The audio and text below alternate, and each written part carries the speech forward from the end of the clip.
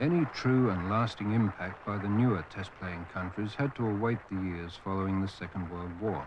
Nevertheless, there were quality batsmen from those countries, and none carried a heavier burden so independently and successfully as Jamaica's George Headley.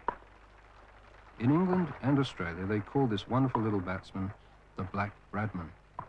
At home in the Caribbean, they tended to think of Bradman as the White Headley. He was the first to invalidate the old credo that white man bat, black man bowl. And despite the flow of batting talent to emerge from West Indian Territory since the war, Headley, the brave and inventive boy from Panama, still stands alone.